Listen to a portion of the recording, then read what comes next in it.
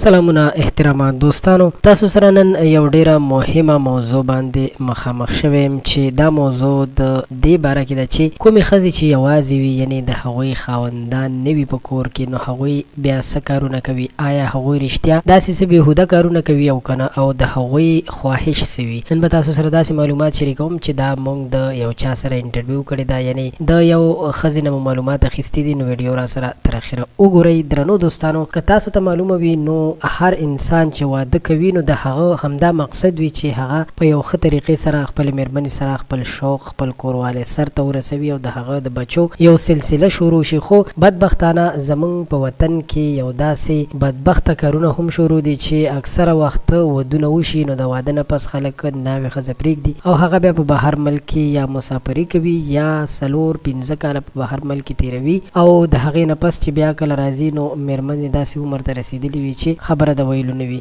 نو په دغه دوران کې بیا د ده میرمن څه کارونه کوي قدرمنو د دې باره کې یو مشهور قول هم دی چې حضرت علی رضی الله تعالی عنه هم د څلورو میاشتو نه زیاته مسافري ممنوع فرمایلې وه او په خپل وخت کې چې کوم کسانو به یعنې کوم فوځ چې به و هغوی به د څلورو میاشتو نه زیات وخت نه شو تېرولی څلور میاشتې پس په خپل کور ته راتلل نو د دې ویډیو مقصد مې هم دغه دی چې تاسو به هم په دې مقصد باندې پوه شوي یئ اګر که نن سبا غربت ډېر زیات دی او ډېر زیات خلک چې دي هغوی د غربت د وجې بهر ملکونو کې مسافر دي خو د دې غربت مقصد دا هم نه دی چې د انسان په ذهن باندې پیسې دومره غلبه وکړي چې هغه بیا کور ته هم نه راځي او د هغه بیا یو مېرمن چې د هغه یو داسې اړخ ته لاړه شي چې بیا د هغې راواپس کېدل ډېر ناممکنه وي یعنې د یو ناروا کار اړخ ته لاړه شي او دا حقیقت دی په دې کې شک نشته که ځینې خلک دا خبره کوي چې دا خبرې زه هسې د خپل ځان نه کوم بلکل دا د ځان نه نه دي دا حقیقت دی چې د داسې عمل سره ښځه ناروا اړخ ته تللی شي.